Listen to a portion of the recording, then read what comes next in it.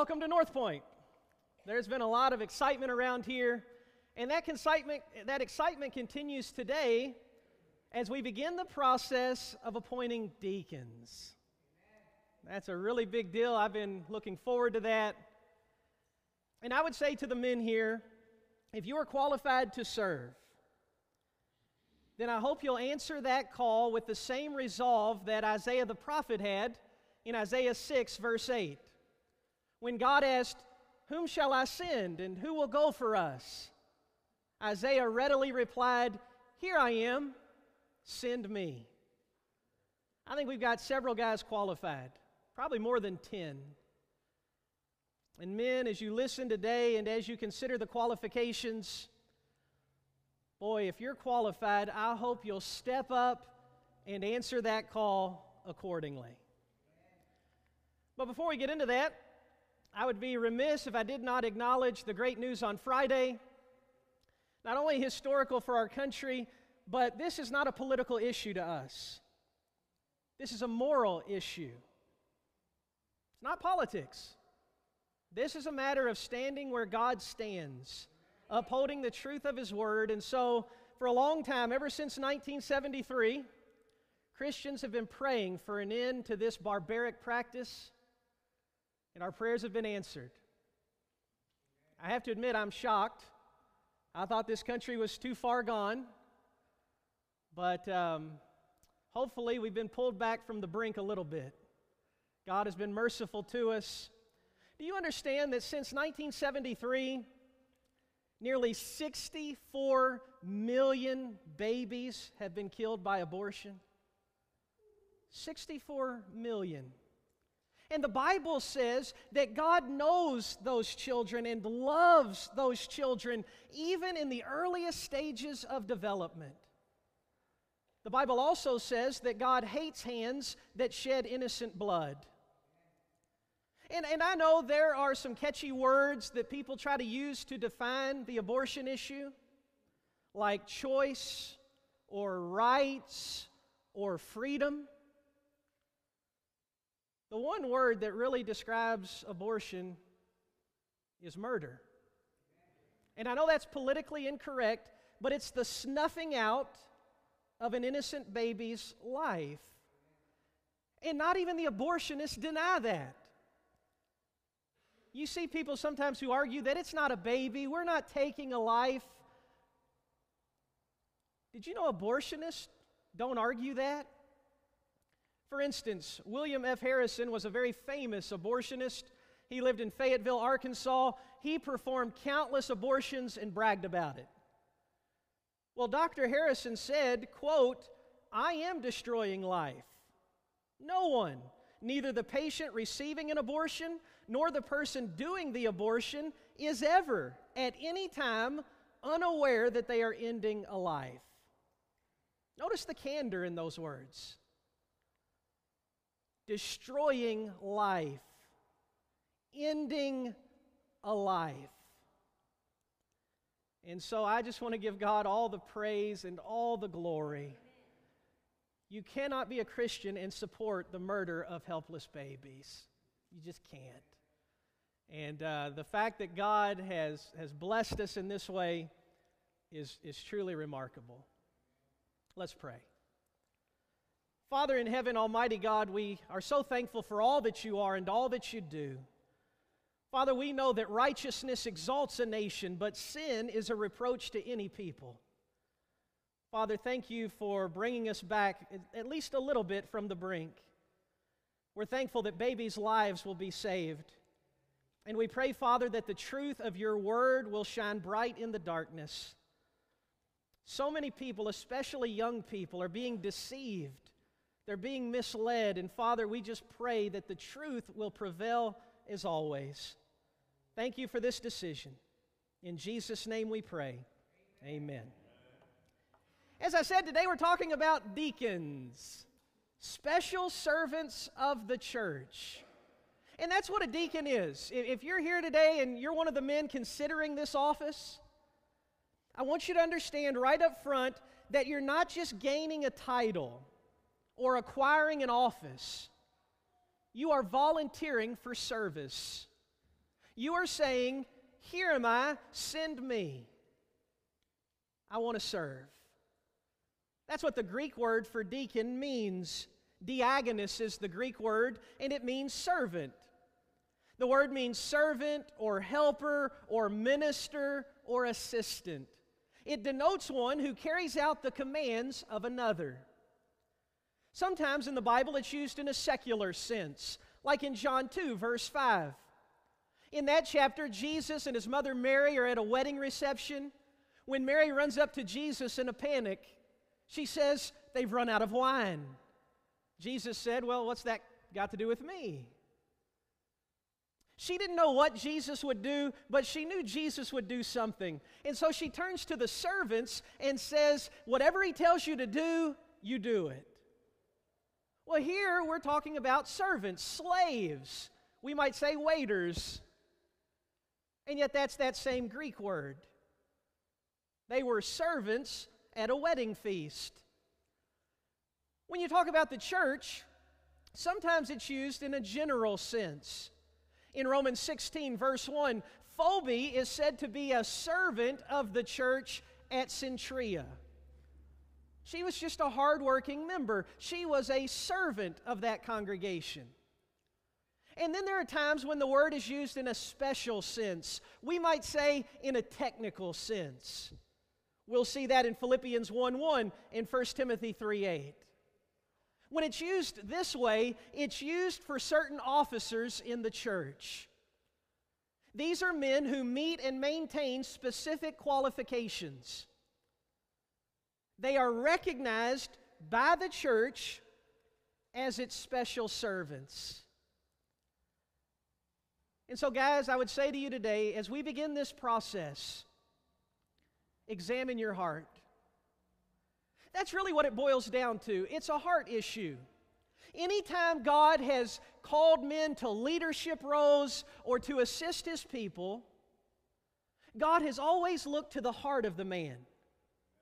Not to his looks, not to his popularity, not to his talent level. God looks to the heart of man. For instance, consider Abraham. Abraham was a great leader of God's people. Well, why did God choose Abraham? Nehemiah 9, verse 8 says, Because God found his heart faithful. That's why. When Samuel was told to find Saul's replacement as king, what did God remind him of?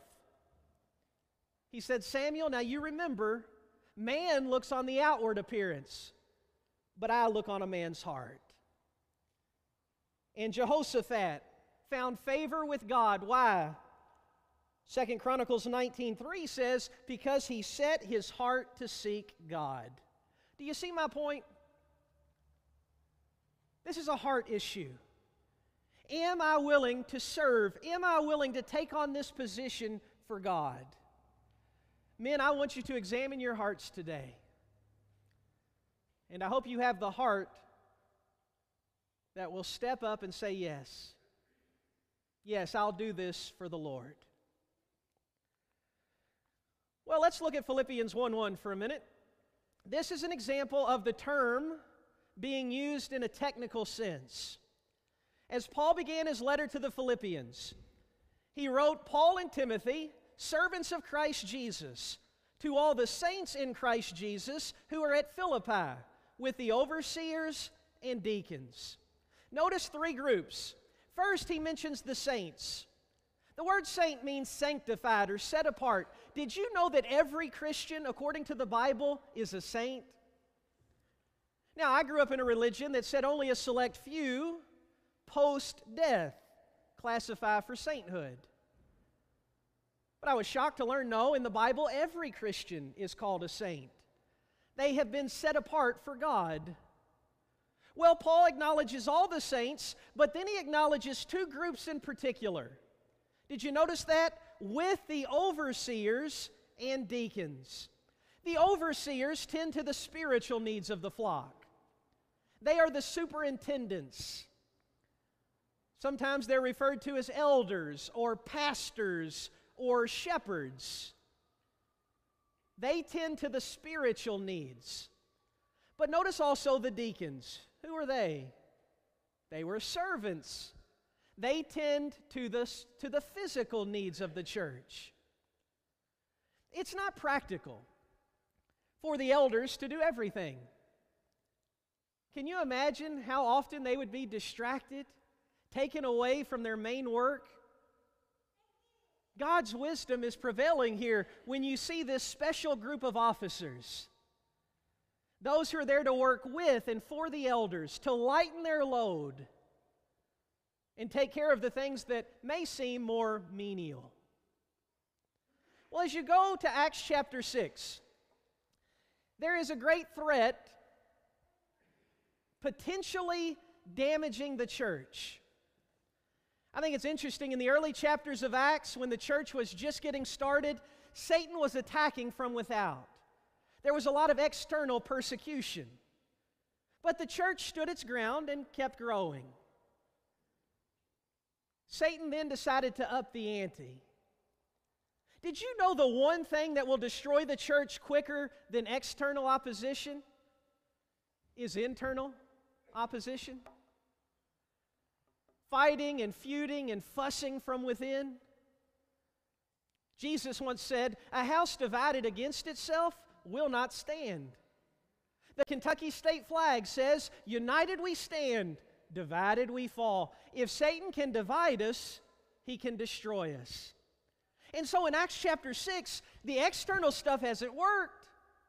The persecution isn't prevailing. So what does Satan do? He tries to tear them apart from the inside. Notice Acts 6, verse 1.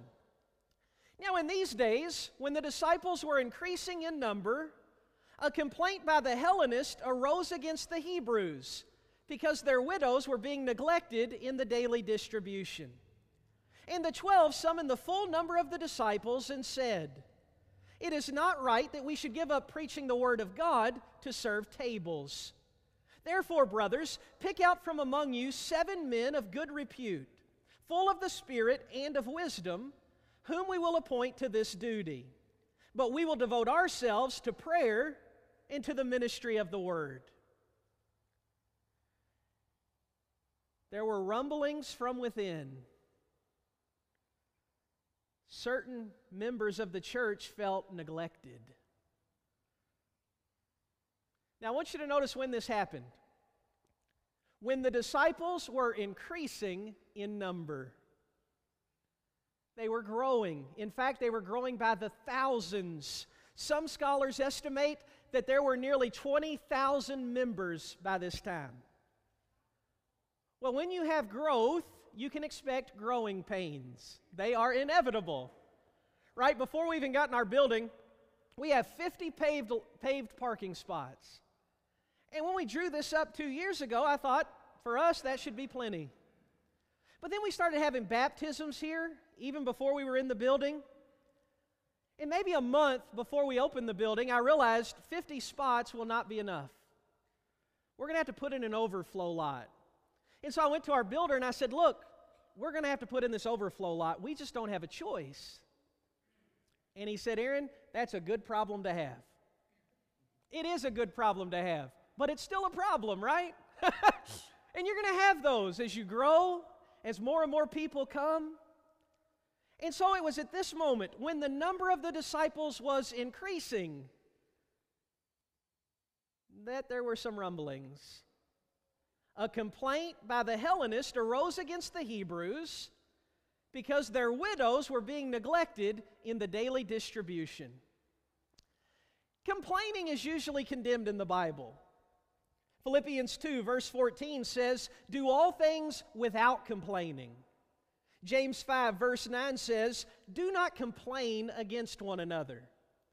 If you're familiar with the Old Testament, that's what got the Israelites in a lot of trouble. They were constantly complaining, grumbling, and mumbling. Usually that's a negative. But there are times when complaints are legitimate when a sincere issue is being raised. And that was true here. What was the problem? Some of the widows were being neglected in the daily distribution of food. You had a lot of Christians living in Jerusalem. Some had come for, for, for Pentecost, not expecting to be converted and to stick around. but here they are. And so the church, every day, the church set up tables and fed those who were in need. If you needed a plate, they provided a plate. But one group of widows were being neglected. They were the Hellenist. The Hellenist Jews were Greek speaking Jews. They had left Palestine, they had embraced themselves in Greek culture. And so they were kind of like the Jews who left home. Meanwhile, the Hebrews were native Jews. They never left home, they did not subscribe to Greek culture, they spoke Aramaic. They would never use a Greek translation of the Bible like the Septuagint. And so they were both Jews. Now they're both Christians. But this group feels slighted. This group feels neglected. And so, what do the disciples do? I think it's very noteworthy that the apostles did not turn a blind eye. The apostles did not sweep it under the rug and just hope it goes away. This was a legitimate complaint. And so they took corrective measure. The twelve summoned the full number of the disciples and said, It's not right that we should give up preaching the word of God to serve tables. Therefore, brothers, pick out from among you seven men of good repute, full of the Spirit and of wisdom, whom we will appoint to this duty. The twelve apostles said, Look, they make a good point. This is a problem. But this is also a matter of priorities. We're the apostles. We're busy with the spiritual stuff, preaching the Word of God. And it would not be prudent for us to turn aside for, from that work for this work. Now, let me ask you was serving tables important? Yes. Serving tables was very important, especially if you're a hungry widow. But it's not more important than saving souls. And so the apostles said, Look, here's what we're going to do. We're going to continue to focus on the spiritual stuff, but we do need to solve this problem. And so, what you guys need to do is pick out from among yourselves, from within the congregation, seven men who we can appoint to this task. Why seven? Probably a practical number. It is true that sometimes seven is symbolically used as completeness or perfection in God's Word. But in this context, it's probably just a practical number. They felt like seven could handle it.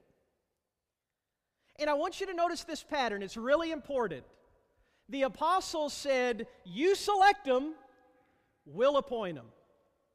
That's the pattern we're going to follow with deacons. You select them, and then the elders, the overseers, will appoint them. But notice these seven had to meet certain qualifications. They had to be of good repute, they had to be full of the Spirit and full of wisdom.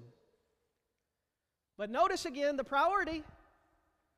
We will devote ourselves to prayer and to the ministry of the Word. Here's how the story concludes. And what they said pleased the whole gathering.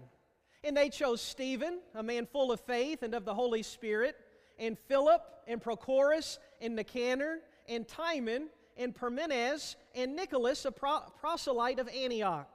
These they set before the apostles, and they prayed and laid their hands on them. And the word of God continued to increase, and the number of the disciples multiplied greatly in Jerusalem, and a great many of the priests became obedient to the faith. The apostles said, Look, we need you to select seven men who we can appoint to this task. That set well with the church. They said, That's a good idea. And they chose seven men. Here's an interesting tidbit all seven of these men have Greek names. That shows that they were apparently Hellenistic. What group brought the charge? What group brought the complaint? The Hellenist.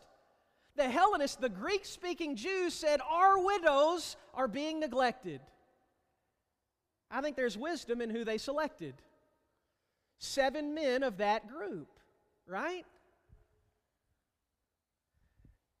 They nipped it in the bud. The apostles said this is a legitimate concern. We can't handle it. We've got other stuff. Truthfully, more important stuff. But somebody needs to do this, and these seven men stepped up. Notice the result. Was the result division? No, it was prosperity.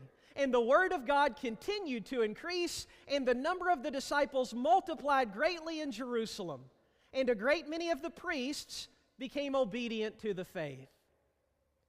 Satan could have used this to divide the church, to cause a schism. But their wisdom prevailed. And what we have here is a great example of servanthood. Let me say this about those seven men. Have you ever noticed the fact that they said yes? You say, well, I mean, it's kind of implied, but think about that for a minute. These seven men didn't say, well, you know, thanks, but no thanks. I'm kind of busy. I got other things to do. Or, you know, serving tables, I think I can do better than that. It's very commendable that these seven men, when asked to put on an apron and serve tables, said, Sure. That's not below me. That's not, I can do that. Here I am, send me. There's a great debate. Were these men officially deacons? Doesn't matter. If they weren't, they were at least foreshadowing the work of deacons. But what you have here are men demonstrating servanthood, alleviating some of the responsibilities so the apostles can focus on what matters most. Today, elders need to focus on what matters most. If men are willing to step up and take some of the other load away, that benefits everybody. Well, let's go to 1 Timothy 3 and look at the qualifications. This is a church office. Deacons. And deacons have to meet certain qualifications that are found in 1 Timothy 3, verses 8 through 13. Now, listen, we don't want to be lax with the qualifications. But at the same time, we don't want to be too rigid, too restrictive. In my 20 plus years of preaching, I know there have been times when men were qualified, but because one or two brothers had a qualm or a quibble, they weren't appointed. Some of these qualifications leave room for judgment. You may have a strong conviction that this qualification means this. I may have a strong conviction that the qualification means that. Rather than just letting pride and, and other things creep in, let's let the congregation decide. Let's yield to autonomy. Can an elder have one child or must he have a plurality of children? What if one of his adult children fall away? What if his wife dies? You know, there's a lot of different questions with qualifications. These need to be godly men. They need to demonstrate godly characteristics. But let's not make our standards harder than God's standards. At the end of the day, if these are godly men, God wants them to serve. All right, 1 Timothy 3, verse 8. Deacons likewise must be dignified, not double tongued, not addicted to much wine, not greedy for dishonest gain. They must hold the mystery of the faith with a clear conscience. And let them also be tested first. Then let them serve as deacons if they prove themselves blameless. Their wives likewise must be dignified, not slanderers, but sober minded, faithful in all things. Let deacons each be the husband of one wife, managing their children and their own households well. For those who serve well as deacons gain a good standing for themselves and also great confidence in the faith that is in Christ Jesus. Let's look at these quickly. Paul said a deacon must be dignified. The word dignified just means well respected. He should be a person worthy of respect, not double tongued. We might say two faced. Not saying this to one person and that to another. somebody who's sincere and not a hypocrite, not addicted to much wine. That is, he's not to be a drunkard, he's not to overly indulge in alcohol, not greedy for dishonest gain. This is important because a deacon might be in charge of the money, right? He might be in charge of distributing money or food or other resources. What if he starts stealing or extorting people? He can't be greedy for dishonest gain. A deacon must hold the mystery of the faith with a clear conscience. The mystery of the faith is the New Testament. He must be able to preach and practice that with a clear conscience, with a conscience that does not accuse him. What's the opposite of a clear conscience? A guilty conscience, right? Basically, he's saying a deacon needs to possess what he professes. A deacon must be tested first, he needs to prove himself. In other words, the members need to know that he truly is a man of faith, that he truly is a godly man. He says their wives must be dignified, again, worthy of respect, not slanderers. Some translations say malicious gossips. A deacon's wife can destroy him, an elder's wife can destroy him, a preacher's wife can destroy him. Loose lips sink ships. She's not to be a slanderer or a gossip, but sober minded, faithful in all things. He says that a deacon must be the husband of one wife. In Greek, it literally reads a one woman man. A deacon must be a one woman man. The idea is one of is he faithful to his wife? Is he committed to his wife? And a deacon must manage his children and his household well. For an elder, the qualifications say he must have believing children. Deacons don't have to have believing children. Maybe their kids are young and haven't gotten to that point yet. They don't have to be Christians, but he has to prove that he can rule his house well. And finally, he says, Those who serve well gain a good standing for themselves. That word good standing is the idea of being placed on a pedestal. Now, he doesn't place himself on a pedestal, right? That would be prideful and presumptuous. The idea is because of his service to the church, they place him on a pedestal. They recognize his worth. And then he also gains great confidence, that is, assurance in the faith that is in Christ Jesus.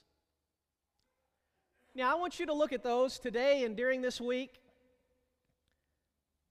And if you're a man considering the office, ask yourself do I meet these qualifications?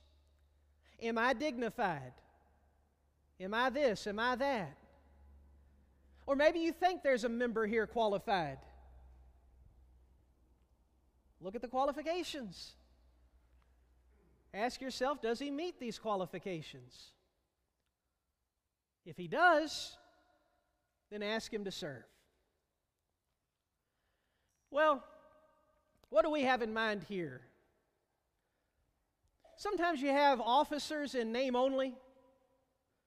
That's especially true of deacons. Sometimes they'll appoint men to be deacons, but then the deacons don't do anything. They just kind of sit there. I'm a deacon. What do you do? Hmm, not much. If you're a deacon here, prepare to be used. This is just kind of an outline of areas where we need your help benevolence, building. I'm talking about the interior maintenance and upkeep of this building, the church grounds. We have about six acres here, it's a lot of land. Maybe you're good with outside work. We're hoping a deacon will take care of that. Outreach, trying to win the lost, trying to reach the community. Education, the training up and equipping of our children. The Bible classes here are so important to us. That's not a babysitting session. Our kids are being taught the Word of God. God's Word is being planted in their hearts and in their souls. And we take that really, really seriously. Maybe you can help with the education department. Events, different things we want to do to try to seek and to save the lost. Keeping up with our supplies, our finances, multimedia, security, maintaining and working the kitchen, guest relations, the welcome center, greeting visitors, making sure that first time visitors get letters. There's a lot that goes into the work here. And so if you're a man who might be qualified, ask yourself where can I fit in? What can I do to help? But if you sign up, prepare to serve. This congregation is blessed with a lot of people, talented people. And as I said, I think there are men here. They may doubt themselves, but we don't doubt you. There are men here who can do this job. So, in closing, when God asked Isaiah, Whom shall I send? Who will go for us? Isaiah readily replied, Here I am. Send me. Are there men here who are willing to do that with the deaconship? Are you willing to say, Here I am, send me? Here's how this will work we have white cards in the Welcome Center. We ask that you just, if you think a man is qualified, go to that man and ask him, Would you consider being a deacon for this church? If he says yes, write his name on that card and give it to one of the elders. We need the cards turned in by next Sunday. So you have a full week to review the qualifications, to ask the man or men you're considering. By next Sunday, all the white cards will be turned in. The elders will then reach out to these men to see if they do desire the office, to make sure nothing's changed. And then the following Sunday, we will present those names to the church. Remember Acts 6? You select them, we'll appoint them We'll present their names to the church, and if there are no objections, the next week they will be appointed. All right? So get you a white card in the back before services end. Think of a man or men who qualify and just ask them. I think you're qualified. Are you willing to serve? We want to be a New Testament church in every way. Having overseers and deacons is a big part of that. Will you pray with me? Father in heaven, Almighty God, again we bow before you, so thankful for another Lord's Day, so thankful for all the blessings you bestow upon this church. Father, we're so excited about the possibility of having deacons. Thank you for bringing men our way who do qualify, men who love you and love this work. Father, we just pray that, that men will step up and that the work here will only advance, that the borders of the kingdom might increase that we'll continue to grow spiritually and numerically. Father, we're so thankful for every blessing. In Jesus' name we pray. Amen. One more word about um, Roe v. Wade. Again, this is not a political issue for us, this is a moral issue. It's a matter of right and wrong. This church is going to stand where God stands. Our members are expected to stand where God stands. If you're not convicted on this issue, the worst thing you can do is just walk out of here and just tune, tune me out. Let me, let me sit down with you. Let me open the Bible for you. You wouldn't be here if you didn't believe the Bible, right? Well, let me show you what the Bible says about this issue. It's not a gray area. It's not an area where we can agree to disagree. There are a lot of political issues that don't amount to anything. You can believe your way and I'll believe mine. But when it comes to moral issues, uh, those are not debatable. And so if you're not convicted on this important issue, talk to me. I also want you to know that in the Welcome Center, free of charge, I have a book I wrote about 10 years ago called Silenced Cries. If you'd rather just read that book on your own, it's free. One per family. But if you want a book, Silenced Cries, go to the Welcome Center, just read it. Read it honestly, read it objectively, read it with a heart that wants to please God no matter what. All right? So you can come see me or you can take home a book. God bless you. If you're here today and you're not a child of God, we never wrap up without giving you an opportunity to become one.